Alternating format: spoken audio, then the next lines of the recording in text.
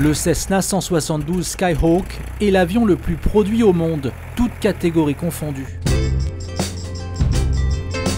Depuis sa commercialisation en 1956, ce monomoteur à piston de 4 places a été produit à plus de 44 000 exemplaires.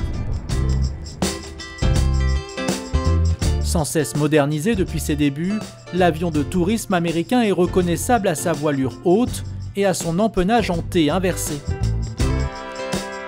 Parmi les avions à piston du constructeur, le Cessna 172 Skyhawk est le seul à avoir une hélice deux pales, contre trois pour les autres. Il a aussi la plus petite distance franchissable et la vitesse de croisière la plus faible. Mais l'avion est reconnu pour sa stabilité en vol, facile à piloter, il est très prisé des écoles de pilotage, mais aussi des pilotes privés. Équipé d'un moteur Lycoming de 180 chevaux, il n'a besoin que de 500 mètres pour décoller et sa vitesse de décrochage est de seulement 89 km/h. Une success story qui n'est pas prête de se terminer. Rien que l'an dernier, 166 exemplaires ont été produits à Independence dans l'état du Kansas.